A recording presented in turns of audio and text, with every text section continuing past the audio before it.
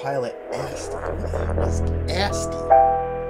Oh, hey, Toy Gains here. Thinking about opening up Asti. X-Wing pilot Asti. He's been on my shelf for a long time, and I figured I'm bored today. Today's the day I'm gonna open up this pilot, Asti. Don't know who he is, but I'm gonna give you some tips today of what to do when you're fig- with your with your finger, with your finger, what do with your finger when you open it. What to do with your figure when you open it. And I know you might be saying, Gains, what the hell are you talking about? You open your figure and you you pose them and that's it. But no, my friend, I have tips to make your toy collecting dreams go wild, or to just enjoy the hobby. Um, it's more than just opening a figure or buying a, a figure and, and putting it on the shelf or hanging it up. A lot of things you could do to really flesh out this hobby and, and enjoy it for more than just buying a toy. We're gonna get to that right now after I open Asti. What a name. Gains! Gains! Not wearing the glasses to look smart. When you hit a certain age, you're gonna need them. That's a pro tip. That has nothing to do with toys, though. The first thing for collecting toys, when you open in the things, is get the proper tools. I know it sounds stupid, but after you start to un- unbox a ton of toys in your life, there's little twisty ties in there and shit that drives you nuts. So have a blade, have some snips, and that'll help your life so much better instead of, you know, digging at this with your fingers. Oof, boom. Is it in yet? I'm already in, baby. I'm already in. Right there. Fortunately, the old Black Series figures were just like that. Ah, I had no idea. Wait. Toy collectors know about the smell, the glue smell that probably gives you cancer and brain damage. you pop that out, and he's gone. A lot of figures don't have the twisty ties. You guys know what I'm talking about. A little little snippets, little snip snip, Oh, oh. I'm done. So there you go. He's out. I'm gonna show you what to do with this guy right now. Besides just you know, his his his limbs are pretty smooth. That's another tip. If you bust out a figure and he's been in the cold, you know, get a blow dryer, get these joints nice and loose. This guy's actually kind of cool. What the hell was his name? Asti. What a name. Asti. Who came up with that? Aliens, man. Freaking aliens. So normally you get a figure and you pose them and you plop them on, on your coffee table or if you got a desk or wherever you can. And that's it. That's where this dude is going to live for the rest of his life. Right there in the kitchen counter. But not at Toy Game. I'm going to show you how to give this guy a life. You want this guy to have a life. You want this Asti to enjoy his life for the rest of your life. So you two could be in harmony. It's a big deal, man. Right, Asti? Right? God damn you. So the best way to appreciate your collection, especially if you're a super fan of one thing like Dragon Ball or Star Wars, Star Wars in this case, get a shelf and get some lighting. You don't have to have your whole apartment or room or office decked out with every single corner shelved, but at least start with one shelf. This is a classic shelf from um, IKEA. This is about 70 bucks.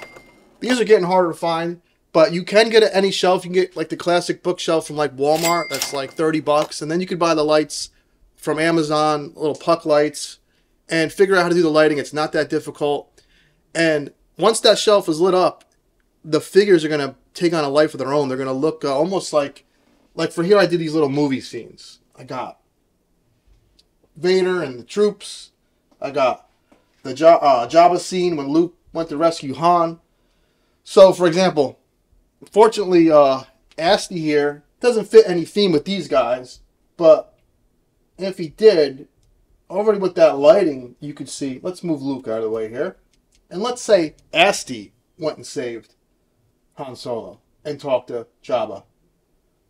Already, you have a theme going. You you have that figure now is is kind of alive. He's in, he's in a, a scene from a movie. So you just went from a figure you bought randomly, and you might have just put near your your computer, and now he's in a movie scene. And this lighting, this dramatic lighting, the shelf all brings it to life. Now you don't have to go with something fancy like this. If you look right to the left here, these are like ten dollar pieces of wood. I got and I threw on the wall. Shelving is the key to appreciating your collection and, and proper lighting.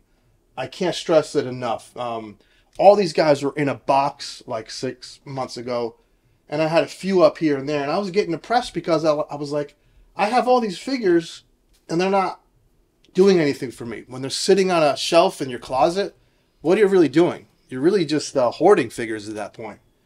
Now, I'm fortunate enough to be with somebody that, that lets me take up all this space. I know not a lot of people are in that situation, but just start small. Start with something like this, with the Star Wars setup, and if you can, go nuts like that. So, rule number one in collecting get a shelf, get some lighting. I'm going to show you some examples of what I got going on in my apartment that really fleshed out one of my some of my favorite pieces. I'm going to do that right now. While we're over here, um, this shelf I put here, these like stairs. Do you hear my voice here? These, these, these. So, does it sound like that? Yes. These stairs are actually a spice rack. What are you saying? These stairs or these dares? These stairs. Okay. I got it, right? These freaking stairs. If I curse, I could usually say the word I have trouble with. These fucking stairs right here. These fucking guys. They're a spice rack from Target, and that helped me get all these figures on there. Um, the the thing that really um, took my collecting to the next level and made me really have fun and appreciate the hobby of, of buying toys was customizing. And I know not everyone. It is a talent, it is a skill, but you can learn this talent and skill with some practice. And I'm gonna tell you, you not every figure like this. This um Space Ghost. This was a Batman, uh, McFarlane Batman, and not everyone's gonna have the skill to just make Batman into Space Ghost. Um, that's a tough one. But you could do things as simple as so this bazooka. Um, I don't have the pre. Uh, he didn't have these straps. These straps were not present, and I don't like the way a backpack. I don't like it when it's floating. So it kind of bugged me. Where you see every other figure they've kind of done, like Sergeant Stalker had the straps for his his little gun harness, right, or holster on the back. So I'm, I'm like, why doesn't Bazooka have it? What I did was I got an extra Stalker figure. I cut the straps off that one and I gave him straps. That's customizing at its simplest level. So what you did is you gave him strap on.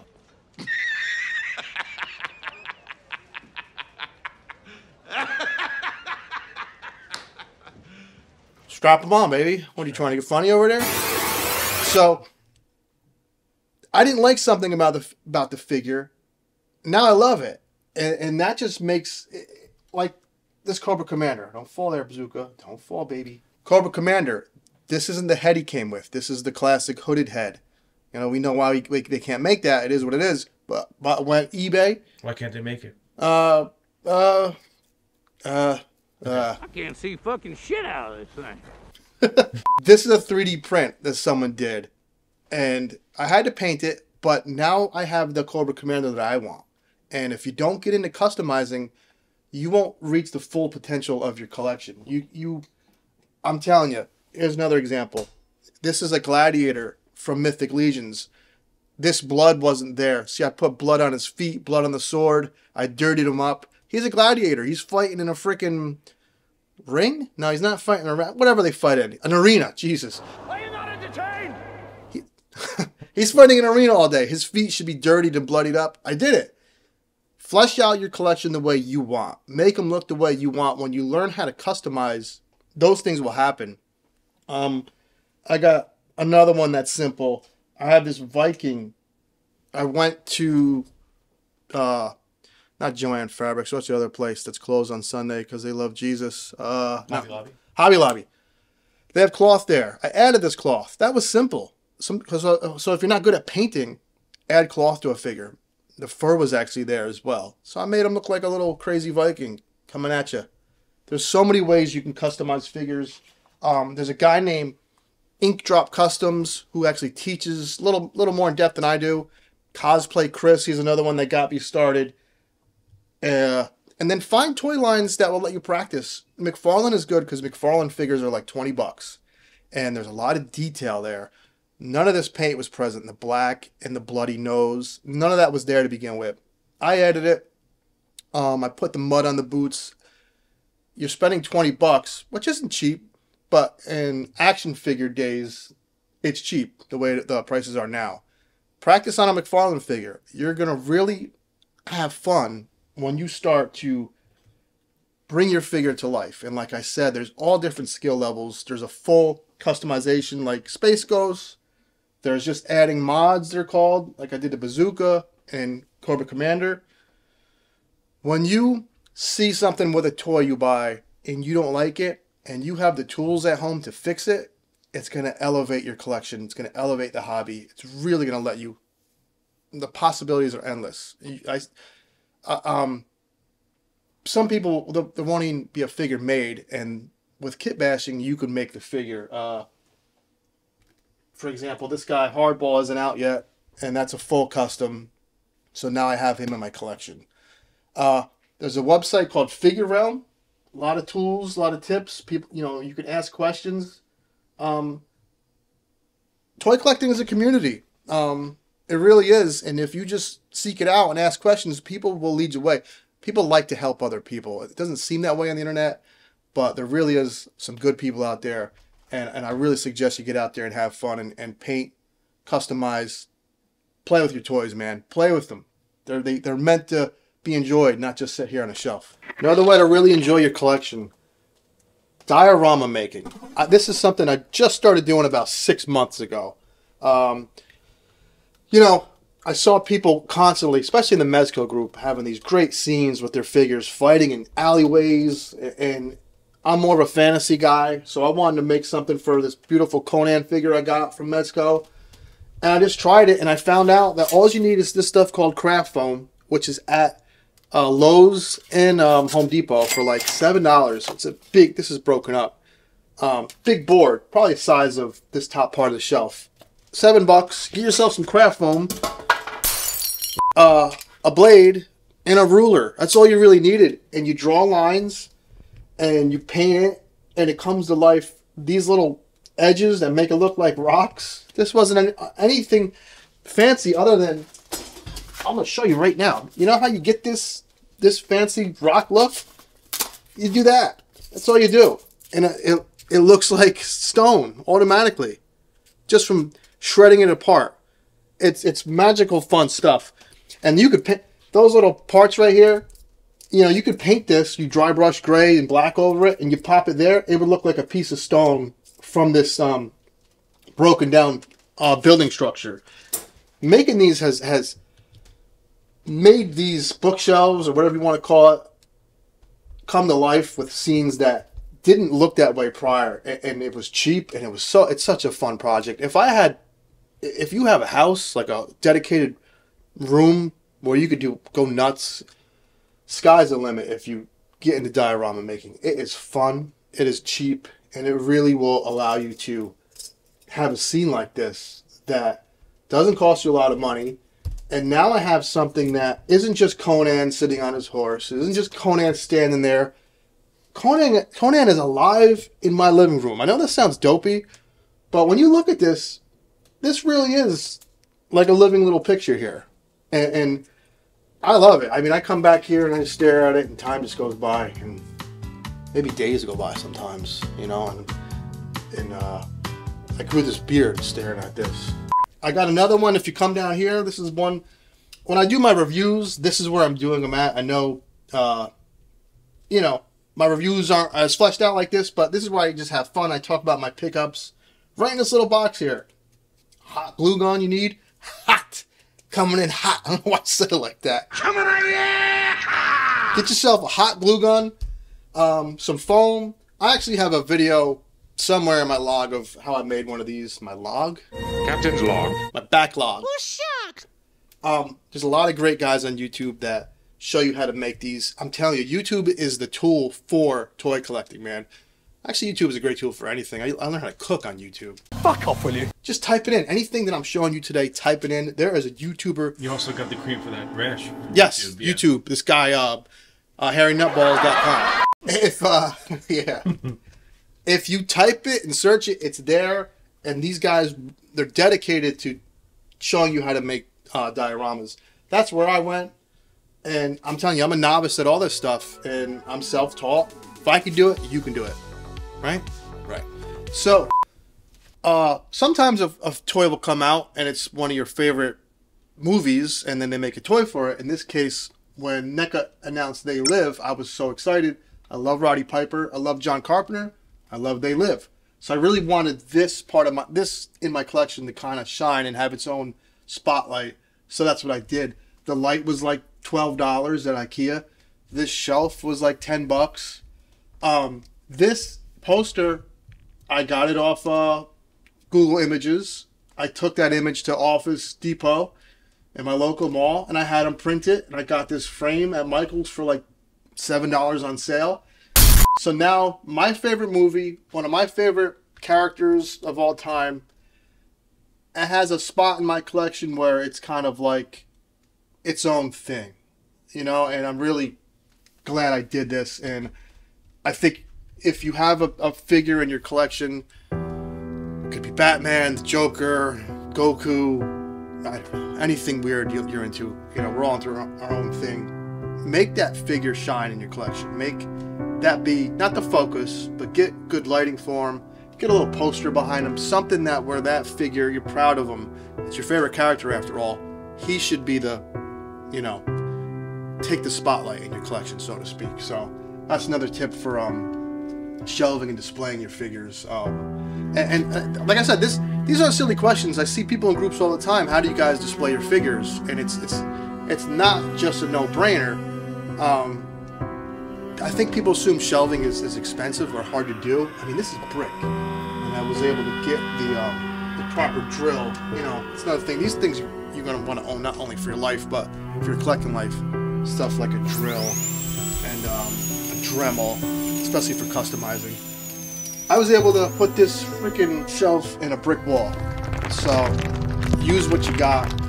There's ways to do it. It's not that hard. I'm not the most manliest of men. I know it might, you know, come as a shock. like I said, I, I'll, I'm the type of person. If I want something done, I'll look it up, figure out how to do it, and follow those instructions. That's what instructions are, are there for. Um, so yeah, they live shelving, lighting. My last tip is don't be afraid to sell figures that no longer kind of have a place in your heart and your soul as a collector. When I first started collecting, I really loved 1 6 scale. I thought this was the pinnacle of action figures. If I was going to collect, this is what I needed to have in my collection.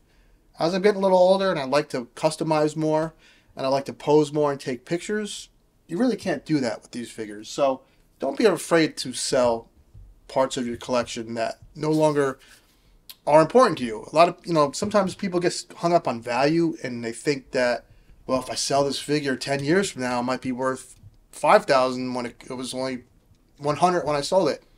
You can't live like that. You can't collect like that. Sure, some figures you might want to hold on to, like Jack Nicholson down here. I would never sell because there's not a lot of Jack Nicholson stuff. But Jason Voorhees, Michael Myers, although I love them characters, I don't necessarily need hard stuff in my life. So I'm probably going to sell those. And this is how you can keep maintaining a newer collection out with the old and with the new, so to, so to speak. I've learned through, throughout the years that every 10 years, figures change. Things used to have less articulate articulation, say back like 15 years ago. Um, so what you're into, what you want to collect is probably going to change every few years. So don't be afraid to sell. Don't get so hung up on keeping everything. You're not going to be able to. I'm telling you. Um, even if you have a mansion, you might fill that mansion up with toys. The more space you have, the more stuff you're likely to buy. So don't be afraid to get rid of stuff that um, you're not into as much, is what I'm trying to say. So in painting your figures, don't get caught up in buying real expensive paints. I know there'll be customizers out there that swear by Citadel and um, Model Masters and stuff. You could buy um, low end paints. Acrylic paint to me is acrylic paint, especially if I'm not reselling my custom figures. If you're just starting out, go to Michael's and just buy basic paints. They have every color you can imagine, from flesh tones for skin to metallics for armor. Um, and my figures tend to look really, really good. Uh, I do get compliments. I'm not trying to toot my own horn, but what I'm trying to say is don't get stressed out and overpaying for paint. You're just starting. Just go with the basic stuff. What do you think, Nasty? Cover everything? Yeah, I think I did too. So, what did we talk about? Here's how to flesh out your collection and enjoy it more. Shelving, lighting, customizing, even if it's in its most basic form, you know, modding, just adding stuff to the figure. Doesn't have to be the craziest thing. Get into making dioramas. Don't be afraid to sell. Was that five things or four things? What was it, Asti? Anyway, any questions and anything I talked about, feel free to ask me. I'm available all day, any day. Um, look up Cosplay Chris, Ink Drop Customs. Man, I forget the guy that does the uh, dioramas. I will have that in, in the description. He's a great guy for diorama building. And just have fun. Don't get stressed out. Open your toys, enjoy them. I know some of you guys are inbox collectors. We'll talk about it another time. That'll be another big video. Thanks for watching, and uh, till next time.